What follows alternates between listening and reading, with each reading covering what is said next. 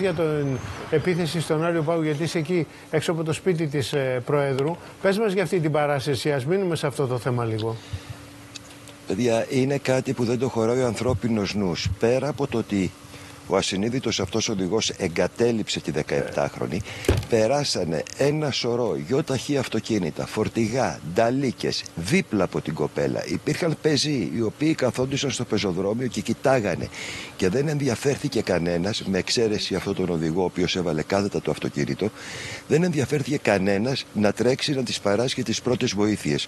Όπως έχετε δείξει και στο βίντεο, κάποια στιγμή αφού έχει παρασυρθεί από τον ασυνείδητο οδηγό η 17χρονη και την αφήνει στη οδόστρωμα, ακριβώς από πίσω περνάει μια ανταλίκα που για ελάχιστα εκατοστά δεν πέρασε πάνω από το παιδί.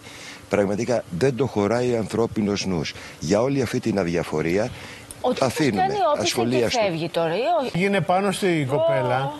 Πήγε πάνω στην κοπέλα Πήγε πάνω στην κοπέλα, σταμάτησε, κατάλαβε ότι είναι άνθρωπος. Και έφυγε. Έκανε όπιστε μετά και έφυγε. Δεν σταμάτησε καν. Ε, προσπαθώ να συνειδητοποιήσω τόση ώρα τη βλέπω και δεν το χωράει ναι, το ναι, μυαλό ναι, μου αυτό το πράγμα. Έφυγε από δίπλα. Εδώ βλέπεις ένα γατάκι, ένα σκυλάκι και λες να το πάρω, να, να το βοηθήσω. Και μετά λέμε, παιδιά, και μετά λέμε πόσο απάνθρωπο έχει γίνει αυτή η κοινωνία και όταν παθαίνουμε κάτι, νομίζουμε ότι δεν υπάρχει κανένα να μας βοηθήσει. Μα σε αυτές τις στιγμές καταλαβαίνουμε τι ακριβώς κάνουμε κι εμείς όταν, ε, όταν δεν έχουμε ανάγκη, ρε παιδί μου. Αυτό θα μπορούσε Βλέπεις έναν άνθρωπο, μια κοπέλα στον δρόμο και δεν σταματάς. Θα μπορούσε να, να συμβεί στον καθένα αυτό που συνέβη στην κοπέλα. Αν δεν έβαζε ο άλλος το αυτοκίνητο Ήτανε... κάθετα, θα, είχαν... θα περνούσαν πάνω τα φορτηγά.